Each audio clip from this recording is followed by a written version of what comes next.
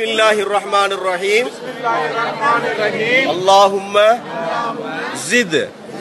هذا البيت هذا البيت تشريفا تشريفا وتعليما وتعليما وتكريما ومحابة وزد من شرفه وعلمه ممن حجه حجه أو